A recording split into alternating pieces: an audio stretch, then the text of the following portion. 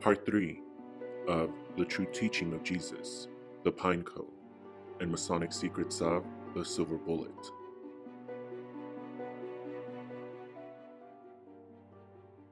Civilizations were struggling to update their calendars, and follow the seasons shifted around by Jehoshua's resurrection. But kings and leaders were also dealing with populations that did not want to give up their traditions and old calendars, which is why there were two concurrent calendars going on at the same time all over the world, from Babylon to China, recorded by the Jews and the Bible in Peru and by the Mayans. The Mayans themselves realized their Olmec calendar, which we call the Mayan calendar, became obsolete because it was based on the pre Jesus Christ resurrection, 360 day moon and solar year. In fact, the Mayans and Aztecs did create a new calendar, precisely measured and calculated to the current 365 day year, constellations, and ecliptic, but was infamously all destroyed and burned by the conquistador, who themselves were Freemasons, aware of the true ecliptic. And when they found out the Mayans not only knew of Jehoshua, because he did what the Catholic Church did without doing what the Catholic Church did, which was fulfill his mission to teach knowledge peacefully. Because knowledge is power, and the greatest power is knowing and validating God in you and others, which is not the MO of the Catholic Church. I digress. The Mayans recalibrated the calendars to the new celestial 365 day a year ecliptic better than the Gregorian calendar of today. So they destroyed it and left us as a ruse and dead end, the Mayan calendar. Which is why none of the prophecies of that calendar have accurately come to pass. And if a sign age is 2160 years, and Aquarius does not begin until 2600, then the difference between those numbers is 440, meaning if Jesus is Pisces, and all of this started happening around the start of the age of Pisces, all of this would have taken place in 440 AD. A far cry from the institutionalized norm being thrown around of 0 to 33 AD, and which coincidentally is the music industry's current standard set at 440. However, if we go back to the astronomical data, we see the true start and length of the sign of Pisces from 654 BC to 2600 CE, an astounding 32 centuries. And when Jehoshua and all of his resurrection really went down, which was actually between the years 743 and 650 pre JCR, meaning we are separated not by 2,000 years, but by 2,700. Where did those 700 lost years go? And you may be wondering, this must all be written and recorded somewhere. To which the answer is again a resounding yes. All over the world, every culture, every king and royal astronomer, from every civilization across the world throughout history, records how they had to update their calendars all around the same time, around these dates of 700 to 650 pre JCR. From 360 days to 365, and with wholly new sun and moon paths. And some kings and royal libraries record how they failed to update their populations, who refused to accept the new calendars or even match their calendars to the heavens. And their solve? Well, this is recorded too. Many just simply scrubbed the slate clean, started at zero, deleting the hundreds of years that would clearly be missing in the annals. Though again, The evidence is still clearly there, but they just simply call these lost epochs of time the Dark Ages and the Middle Ages. And just in 2016, a set of maps have shown us proof that such a worldwide cataclysm event could take place, and indeed it did, because of one geographic land area and civilization called Tartaria. And just like the Arya in Nazaria, the name of the Nazarenes from whom Jehoshua comes means the connection or Naz to the Aryans, who, when facing extreme persecution for their beliefs in the Jesus Christ from the newly formed Constantine Christian religion, and the irony is operative here. The remnants of Jehoshua's school escaped Judea to what later became the Tartarians of Tartaria, changing their name from Naz Arya to Tart Arya, or the tree of Arya, descending from what is the Proto Celtic Taras, Proto Norse Tar for tear, the Proto Indo European Teres for root. These different roots form the tree that was the Tartarian Empire bespeaking its appeal to people from all nations and walks of life. Yet, it was the revelation of their civilization in 2016 through these maps that proves just recently the human race experienced a worldwide cataclysm. According to Tartarian, Mayan, and other occulted Masonic texts, Records show it was a global mudslide Jehoshua's resurrection caused, which soon, within the next three years, another archaeological discovery will corroborate. And this mudslide is what covered all of the old stone monuments all over the world, including the statues of the Moai, the pyramids of northern and Mesoamerica, just to list a couple. This also explains why all ancient stone monuments were seemingly buried, though not in the slow geological progression of time, but instantaneously and devastatingly.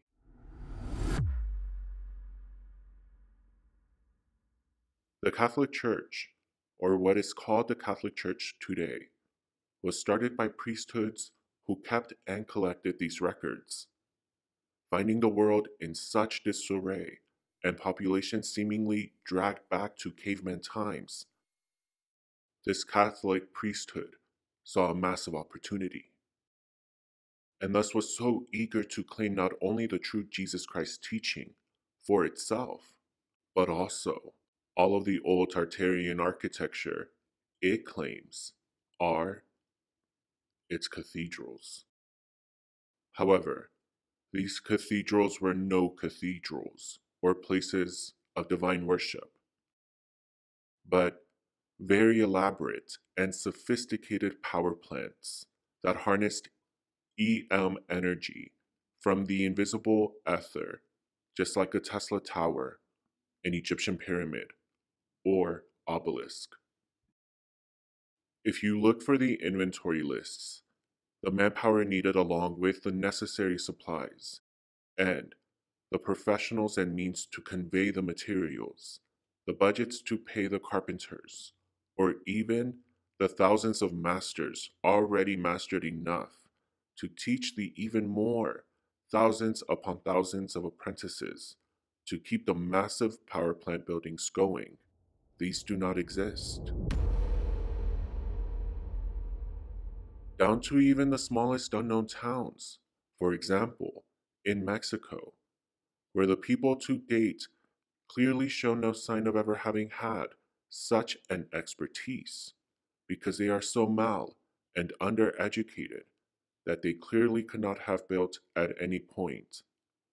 Not even today, even with modern technology, and especially going back generations, because things get better with time, not worse these Tartarian cathedrals. Because if this is how smart they are today, imagine how less smart they were back in those days. I would like to preemptively explain that I feel I am justified in saying so because I myself come from one of these small, little, forgettable, and insignificant towns in Mexico with a prized massive stone and marble church for which there is no picture, record, or inventory list explaining its construction. It has simply just always been there. And trust me when I say these people from my town are severely mal and undereducated. Because my mother gave her life bringing me to the United States to not be raised in that town. The church continues to this day to be the prized gem of that town. My mother was killed six months after we landed in a U.S. murder capital. However, after a state proficiency test graded me gifted and talented, and an interview with NASA in fifth grade, I was educated in one of America's top five Catholic schools in one of America's most exclusive zip codes. I went to school with the families who built up Silicon Valley into what it is today. The families who literally created the software and devices you're using to watch this with. Thus, billionaires, many of whom were Catholic, and many of whom taught me some of these true Masonic teachings of the Jesus Christ because they were practicing it. I became an American citizen three days after 9 11, and genetically I am 66% European white and 33% Native Mexican indigenous. And the Catholicism practiced by the super elite was this silver bullet pine cone doctrine. In contrast, in Mexico, it's more like a cult. But that's what you get when you filter out all the truth because all that's left is ignorance. So, while I know the rich to enjoy the truth of the pine cone silver bullet of Jesus Christ for happiness, liberation, and a powerful sense of entitled wealth of consciousness, which is objectively as much a universal birthright for you as it is for them. For the poor, robbed of the self redemptive truth of the pine cone, it becomes a means of punishment, suffering, and a guilty conscience. On top of that, we are taught to believe these uneducated poor people with the most pitiful schools were capable, with their horses and carriages, of carrying massive blocks of stone for these massive stone and marble constructions based on sacred geometry principles sound frequencies, and cymatics in the small, forgettable, insignificant towns and villages? Well, if you believe they did, that's adorable. Because the pictures, the inventories, the list of names of the carpenters, it all does not exist. Not even for those in France. Because the point is, what is true for my town and the people in it. It's true for almost all of us everywhere in the world. Because there are so many more people who come from humble beginnings than billionaire ones. And the division is hurting them, I attest to you, as much as the rest of us. Further, the Koinobi texts of the Egyptian priesthood who initiated Jehoshua record how Jehoshua his people, and all cultures all over the world, became so well learned and aware of this secret knowledge and symbols, which combine mathematics, physics, and electrical currents, all residing in the human body, and out in the invisible energy of the cosmos. They clearly were, and lived, far more advanced than we could ever imagine. This knowledge was even known and practiced by Native Americans, as exemplified in the totem poles, echoing the spinal column and the many animal myths associated with Jesus Christ. Jehoshua is said to have lived in the last days of the working power plant of the Great Pyramid of Giza, which acted like a Tesla tower, emitting energy to the obelisks that dotted the world then, like today, and harnessed just the same by the Catholic cathedrals, which clearly illustrate through their constructions, whose stones act the same as those in the pyramids in harnessing EM energy. To the beautiful interior exterior engravings, which show their knowledge of cymatics, the visible phenomenon of sound upon vibration and matter, from the iron spiked pyramid, cone peak towers to the arches, and sacred geometry placed inner columns, which are all meant to amplify electromagnetic energy harnessed from the field, and which were all part of the world culture of the pyramids. Yes, according to the Masonic texts, the supposed Catholic cathedrals all over the world and the one from my town are all remnants of the pyramid and obelisk cultures too, because in my town, and this is true for all of the countries claimed by the Catholic secret priesthood, there is no pictorial or editorial record of the church being built. They simply put a plaque on it saying, founded in such and such year. Found dead, yes, but not built in such and such year. As if that were not astounding enough, the Masonic texts also make clear that Jehoshua was fighting an enemy, an enemy that called itself the one and only God. A statement which, for viewers and initiates of this channel, is absurd as God is all, meaning you and me, and thus there is no one and only one God. God is all, all is God. And who was this enemy?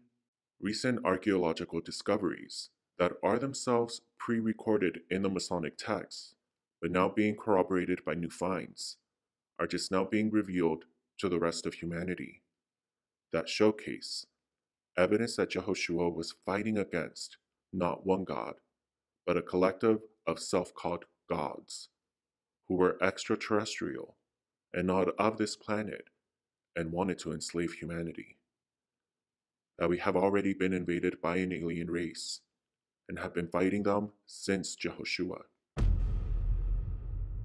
Jehoshua discovered the serpent science was the way to free all of us and bringing Earth back to the paradisical domain it is meant to be. Who were these extraterrestrial invaders bringing this Abrahamic Mosaic religion of an eye for an eye and a tooth for a tooth? They are called the Elohim, by the Sumerians, the Anunnaki. And this class of extraterrestrial alien gods were different from the people who practiced the serpent science and wisdom, and who are the true native Terrans, called the Hindu Nagas, the Mexican Nagual, the Sumerian Ningishzida, the Egyptian Apophis, the Dogon Leber, the Greek Ophis, the Australian rainbow serpent creator, and the Christian Jesus. These native Terrans were the practitioners of the serpent science, and also called magicians, including the very Nagal, or half human, half snake beings of magical powers, in the book of Adam and Eve, wherein we see Adam and Eve struggling to accept that they must live in the filthy imprisonment that Elohim Anunnaki put them in you find Adam and Eve in the book of Adam and Eve, for lack of better words, hating their confines, desiring instead to leave their God, Yahweh, for the half human, half snake cities and towns.